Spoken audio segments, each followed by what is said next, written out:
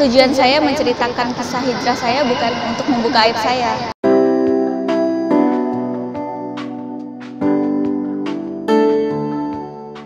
Tentu keputusan saya berhijrah ini e, banyak merubah gaya hidup saya khususnya dalam e, pergaulan di lingkungan gitu kan.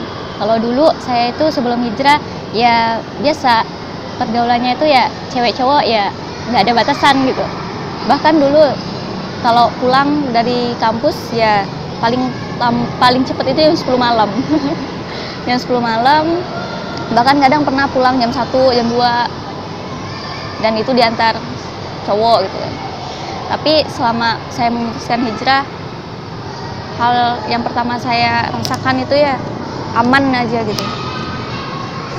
Sel apalagi uh, di Nurudin gitu diajarin batasan-batasan antara Iwan dan Ahwat. Gini loh sebenarnya pergaulan Iwan Ahwat dalam ajaran Islam gitu. Nggak boleh deket-deket harus ada batasan harus ada hijab. Ya jika dibandingin sama yang sebelum hijrah tentu saya ngerasa aman ngerasa aman sama yang sekarang. Karena kalau dulu kan kalau teman cowok teman cowok ya teman cowok itu kayak kalau mau ngomong kalau mau kalau mau berinteraksi gitu tuh ya sesuka dia aja nggak ada batasannya gitu. Tapi kalau sekarang saya merasa dihormati lebih merasa dihormati dengan mereka segan. Mereka tahu tata cara berbicara dengan seorang ahwat itu kayak gimana. Mereka tahu cara bagaimana sih memperlakukan seorang ahwat yang semestinya kayak gitu. Saya itu dari keluarga yang mama mualaf bapak ya muslim. Tapi yang nggak religius dari keluarga yang biasa-biasa aja kalau gitu eh, agamanya gitu. Jadi kalau kecil tuh cuma diajar sama nenek. Karena dari kecil itu tinggal sama nenek dari umur 2 tahun. Sampai sekarang. Terus ya belajar agama ya di sekolah TPQ dulu Taman Pendidikan Quran. Kalau di rumah ya seadanya karena nenek yang ngajar. Kalau dulu kalau ada masalah sedikit aja pasti ngeluh. Pasti apa sih?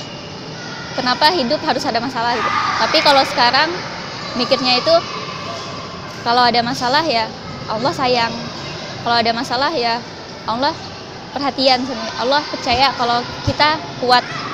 Ya jadi kita harus bisa ngadepin masalah itu karena kita dipilih oleh Allah e, dikasih masalah artinya Allah percaya kalau kita mampu ngadepin masalah itu.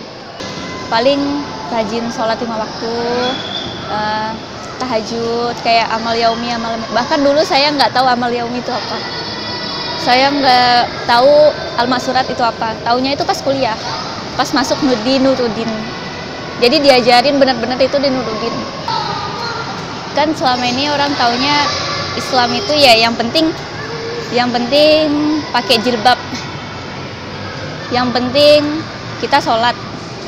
Yang penting kita bisa ngaji abata sampai ya gitu yang penting muslimah tuh ya menutup aurat pakai jilbab tapi yang orang nggak ketahui di sini sebenarnya menutup aurat yang seperti apa sih batasan-batasan seperti apa sih yang sebenarnya kita diajarkan di dalam Islam gitu. Saya lihat muslimah muslimah bahkan dulu saya rasain ya. Bagi saya dulu ya yang penting nutup rambut lah. Dalam berhijab nggak perlu lah pakaian yang rok apa segala macam gitu kan. Tapi setelah saya memutuskan berhijrah di situ saya tahu oh ternyata ada loh di dalam Al-Qur'an yang memang mengatur tentang cara berpakaian seorang muslimah. Kayak pakai rok. Sampai mana sih batasan jilbab gitu? Sampai mana sih batasan pergaulan antara Ikhwan dan Akhwat gitu? Itu sih sebenarnya. Sebenarnya merasa terlindungi ya cuman merasa terancam juga iya. Terancam kayak apalagi sekarang kan adanya hmm, fenomena di mana bahkan seorang muslimah yang bercadar aja seorang Ikhwan tuh ya bisa bisa apa sih? Bisa bisa dibilang bisa membayangkan yang aneh-aneh gitu. Apalagi kita yang nggak bersyari apalagi kita yang itu tentu fitnah-fitnah tuh akan bermunculan. Niat awal kita hijrah itu apa? Ketika kita down kita harus punya alasan. Kita harus ingat alasan awal kita hijrah itu apa. Ketika kita ingat niat awal kita ketika kita ingat kenapa sih kita harus berhijrah mikir lagi oh hijrah alas saya alasan saya berhijrah itu karena ini muncul lagi semangat. Tujuan saya menceritakan kisah hijrah saya bukan untuk membuka aib saya, bukan untuk membuka um, apa sih menyebarkan aib-aib saya enggak, tapi untuk mencoba memberi motivasi kepada mereka-mereka yang di luar sana yang belum berhijrah. Insya Allah, semoga dengan mendengar cerita saya, mereka dapat terketuk pintu hatinya untuk berhijrah, mengenal agama Allah lebih dalam lagi. Karena sebenarnya agama Allah ini bukan banyak aturan, bukan untuk mengekang khususnya muslimah, enggak. Agama Allah adalah bagaimana cara menjaga muslimah dengan sebaik-baiknya menjaga.